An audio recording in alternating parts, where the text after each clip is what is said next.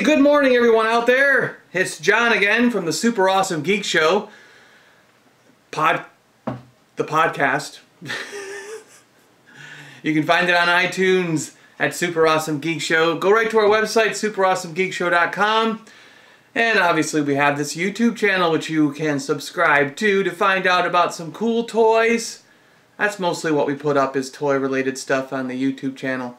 On the podcast, we talk about all things geeky. We got we talk about TV shows, we talk about comic books, we talk about movies, we talk about every subject under the wind. Even sports has come up from time to time because a lot of us are big Seahawks fans and uh, hockey fans, Thunderbirds and Silvertips around here. I think mostly Thunderbirds we like. I don't pick a team for hockey. I just go to enjoy watching it. But uh, I'm a Seahawks fan. Go Hawks! The road to 50 starts here, right? but anyways, I also love thrift store hunting and discount stores.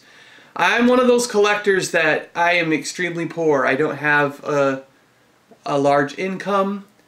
So I, weekly, my friends and I, some of the co-hosts on the show, Jason, Rob, a few others, we, we hunt. We hunt. We go to value villages. We go to various thrift stores around Seattle, half price books. Um, we go everywhere we can. Any kind of discount store we can stumble upon, Goodwills, and we're just trying to hunt for the deals. Well, I found a deal at a discount store yesterday that just kind of blew my mind. And uh, I'm a little afraid to tell you what I paid for this guy. Twelve fifty.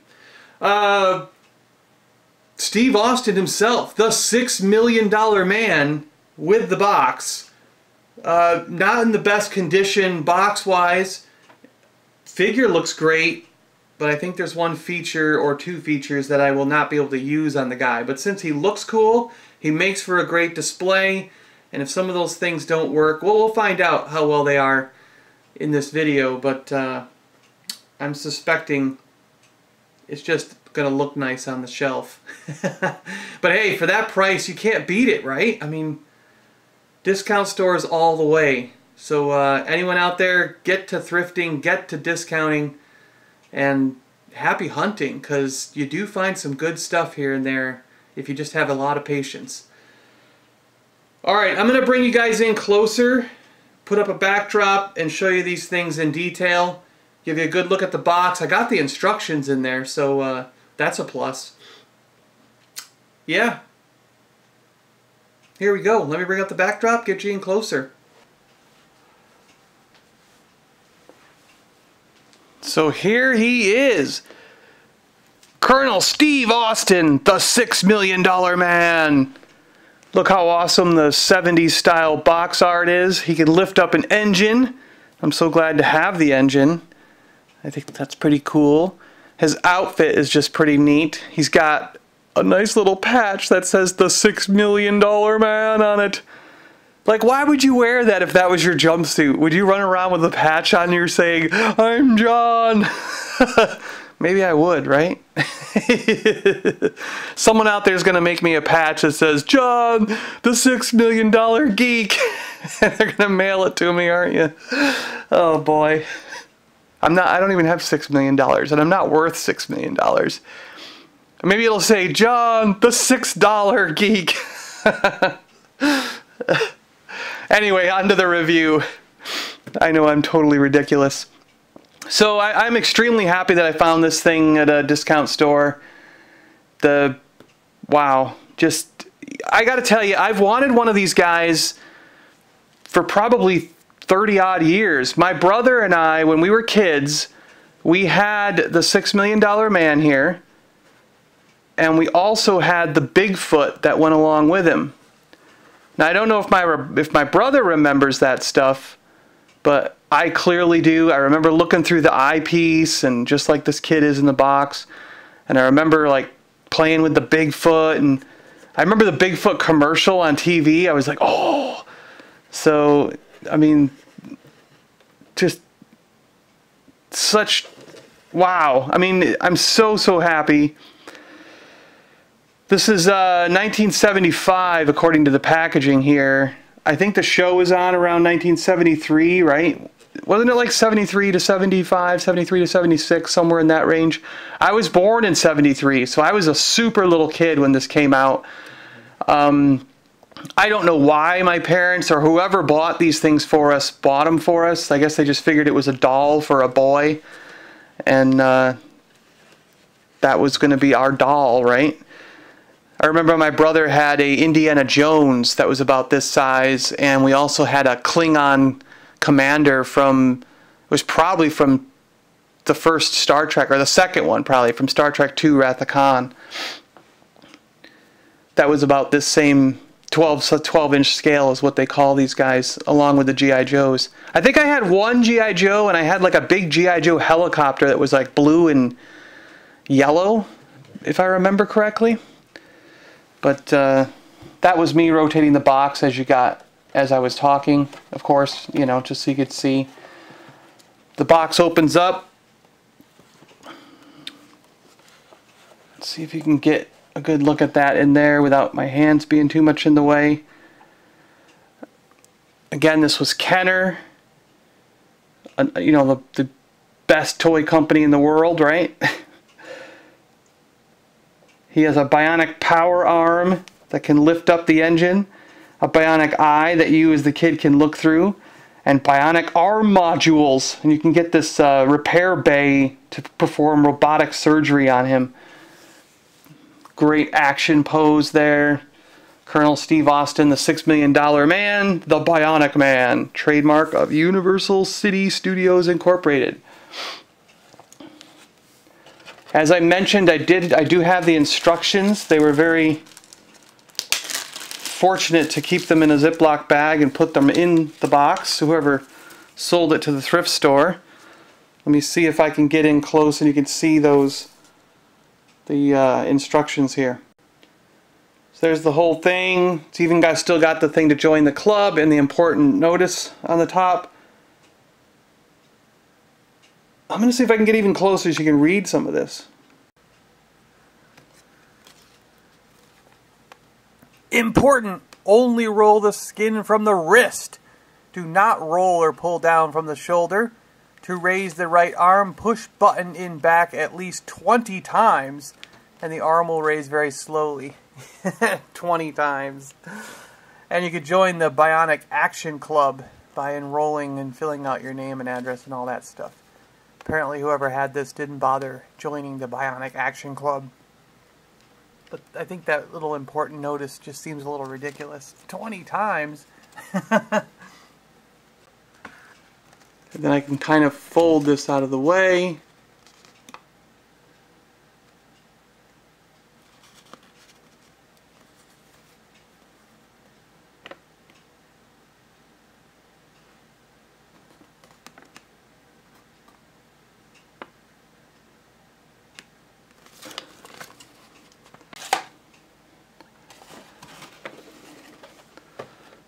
And now let me show you some of these play features on the back of the box here.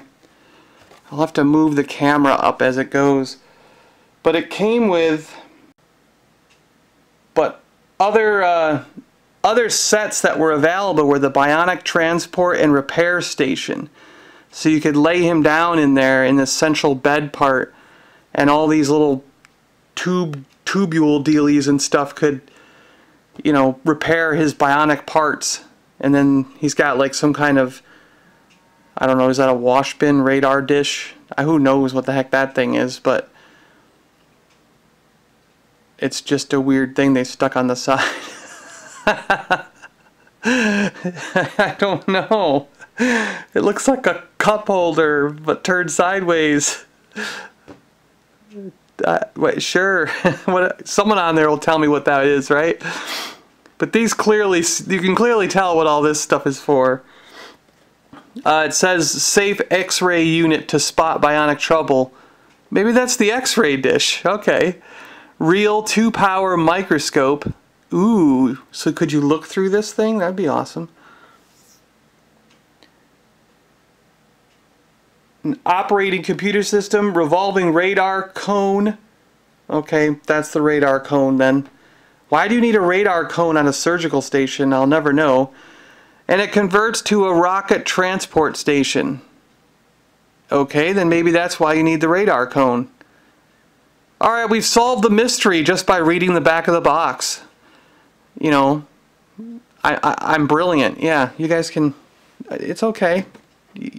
I'm, you know, I might know a lot about math, physics, and, you know, unified field theory, proving that gravity doesn't exist, but uh, apparently I can't figure out what a toy is for just by looking at it.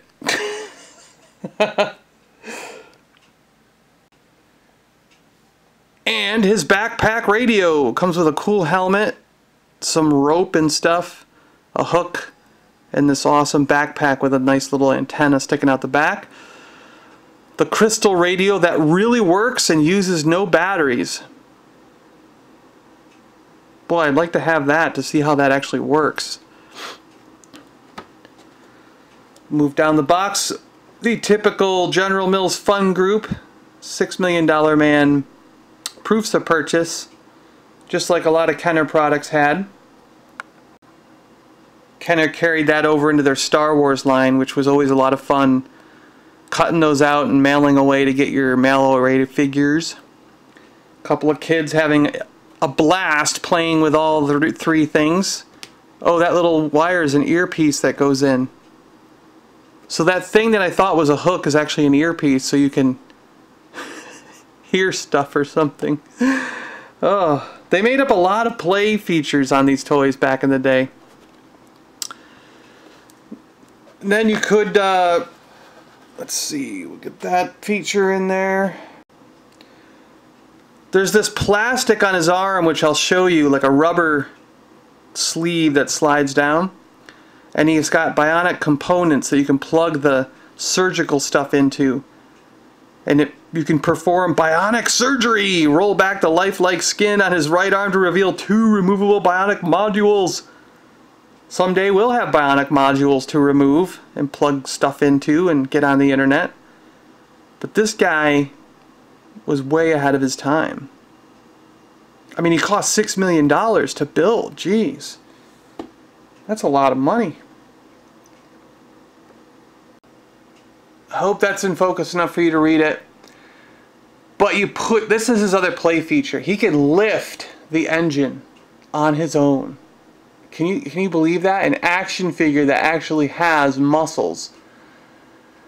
You push the button in a $6 million man's back to activate his bionic arm. He can lift objects, including the engine block that's in this package.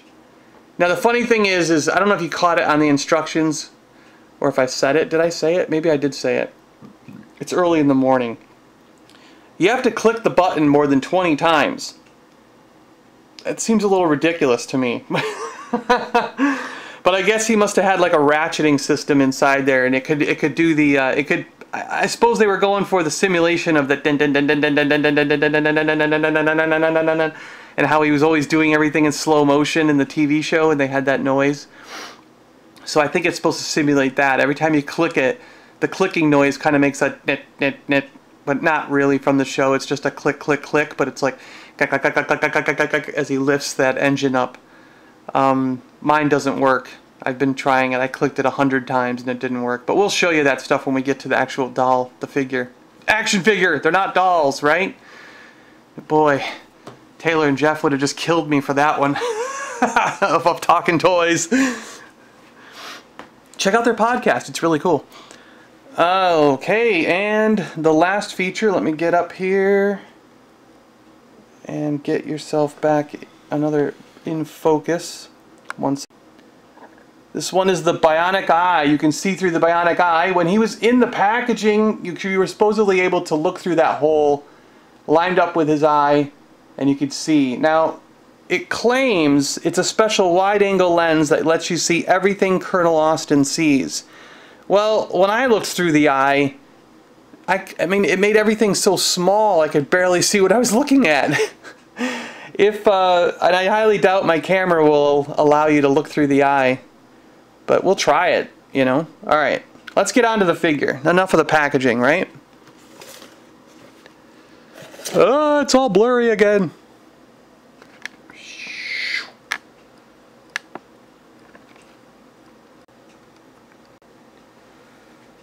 Colonel Steve Austin, the six million dollar man with engine block and bionic action features. So I love his shoes. He's got socks. I'm digging that. A nice red jumpsuit. Very a lot of detail on the stitching. Um, his one sleeve appears to be longer than the other. Maybe just so that you could, it's easier for you to roll that up. Uh, this is the sleeve you roll up that has the uh, rubberized skin. I can, uh, they put that in quotes, skin. And uh, I can show you that when we get them in closer. Cool plastic hair. He's got a nice face sculpt. Um, this guy bends at every shoulder, elbow, uh, his wrist joints, they spin around and move. His, his shoulders spin and move. He's got good leg joints. I mean, he's typical to like a Barbie doll or a G.I. Joe of that era. All those typical moving joints. He may even be... No, no, was G.I. Joe was Hasbro at this point and Kenner. So, um... And then Mattel had Barbie, so they probably were not sharing pieces. I, I, I highly doubt they were but they probably copied each other. You know, they probably underneath they probably look a lot the same. I just really dig his shoes. I think those things are so cool. And socks. He's got socks. Comes with an engine block that he can clip into either hand. we'll get you some rotating views of this guy here as we I'll spin him around.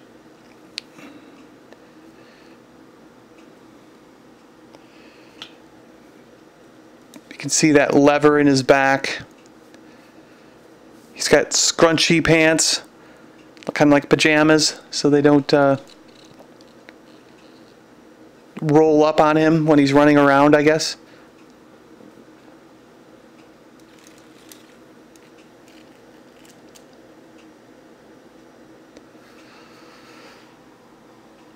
Let me show you some of those play features up close, and we'll give you a close-up look at the figure in just a second here. So here's the engine block that you get with it. Let's see, is that a standard Chevy V8? Probably out of an Impala. I have no idea. I had a 1967 Impala when I was young. I think it was my second or third car. A boat of a car. That thing was amazing. We had so much fun as it in it when we were young. Matt, Brian, Reed, and Adrian can attest to that. All my friends in New York who grew up with me. It says 1975 on the back. I don't know if you can read any of that. 1975 General Mills Fun Group. Division of Kenner Products, Cincinnati, Ohio. This guy was catalog number 65000. And I guess they made these guys in Hong Kong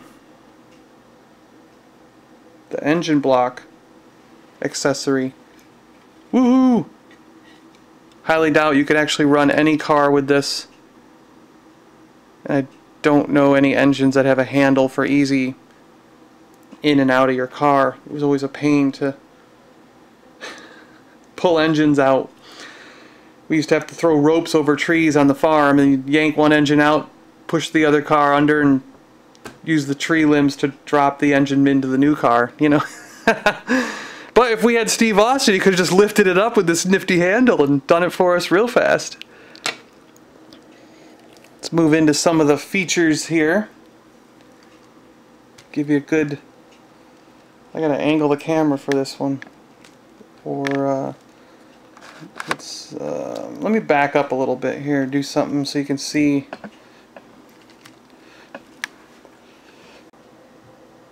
So here's a close-up of Steve Austin with his $6 million man patch stuck right on the front of his jacket. You can see his head sculpt is pretty good. He's got a nice hairline.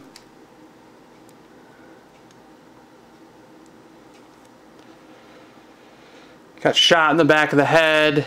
That's how he died. No, no, no. That's the eyepiece that you can look through. Should we try to see if the camera will let you look through it?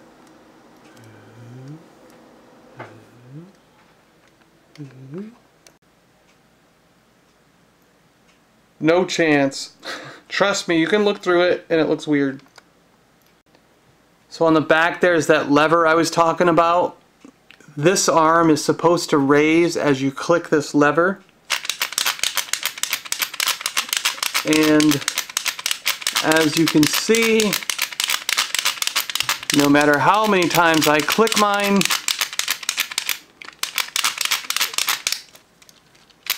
it will not raise the arm. Come on, work, work, work.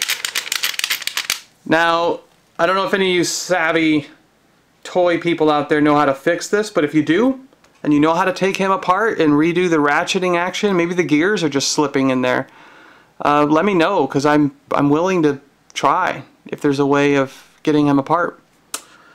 If any of you toy modders out there know about how to do that, it would be greatly appreciated. Otherwise, he'll just make a good display as he is. I think his clothes, I mean, everything on the outside looks mint, right? He's beautiful. Gonna spin him back around for you. Get a good look at the front again.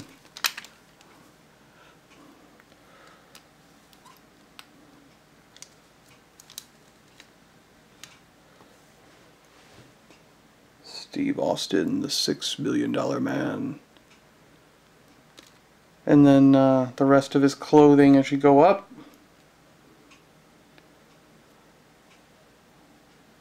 To his lovely shoes and socks. He's even got tread. I mean, what are they? They look like cons, right? Is that Converse? But the striping of Adidas? Now there's only two stripes, not three.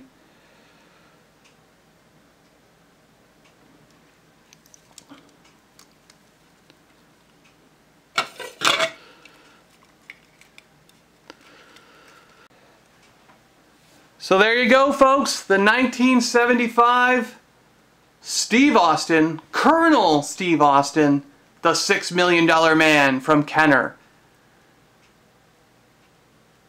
I gotta say, I love him. I'm just as happy with this guy as I was when I was a child. I, I mean, wow. I am so happy I found him. Thank you, thank you, thank you so much, Discount Stores. Woohoo! And that about wraps up our $6 million man with his packaging. I'm John, your host of the Super Awesome Geek Show podcast. And follow us on Twitter. I love to talk on Twitter. I'm always chatting on Twitter with all kinds of guys out there. And uh, love sharing. I love sharing the uh, the videos. I love sharing the pictures that you guys put up. So uh, yeah, let's keep it going. You know, I have that I have that feeling. One for all, all for one. Um, there's room at the top for everybody, and you guys on Twitter have been amazing. All the people I've met sharing, liking, and we've been doing it a lot. We've been exchanging it. You know, I, I share all your stuff. I like all your stuff. You guys share my stuff. And if we all work together, we can all make each other that much better. And like I say, there's room at the top for everyone. Um, yeah, thank you guys. I, I love I love all you guys and everything, all the help that you've been doing and all the support. And of course, on my end, I will continue to support all you guys. So on Twitter, at Awesome Geek Show. Find us on iTunes, Super Awesome Geek Show. Uh, it's our podcast. Together with Mad B, Jason Rigdon, Eric Locke, Rob Clifford, Lee Grooms. We uh, talk all things geeky. And occasionally have other guests like Justin and Miguel and Taylor, Tyler, sorry, I keep saying Taylor, but I meant Tyler, and uh, Ziggy's been on. Yeah. Good times, good times. And we've had a lot of guests lately, lots and lots of comic book guests, game designer guests, even had some film stars and actors. So uh, we get all kinds of people on our show, and we got a lot of good ones lined up coming down the road on that podcast. All right, hope you join me again for another exciting video subscribe, and I'll be putting up more. I really think I want to do a Flash Gordon figure next. Something else that from my past that was, um, you know, a, a near and dear to my heart that I had recently found within the last year. Oh, Cray! Hey, hey, hey! I didn't, I didn't uh, show you the plastic uh, rubberized arm skin feature. One sec, real quick. Let me zoom in on that before we cut out, alright? Alright, there it is. The rubberized arm. I do not dare try to roll that skin up. Because to me, it looks brittle and like it's going to just disintegrate at any moment. So I will not be able to see his bionic plug-in features or whatever they were just because I don't want to risk it. Alright, there you go. The last play feature. Pull down his... Pull his, uh... sleeve back down. His knees are just a tiny bit loose, but not loose enough to where he won't stand. It's clear a kid played with him, but they kept him pretty good, you know?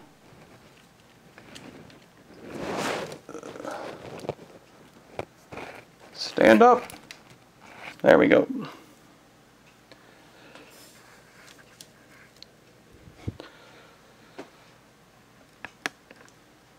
For Colonel Steve Austin and the Super Awesome Geek Show, I'm out. Keep it geeky out there, everyone. And have fun playing with your toys. Because that's what they're there for.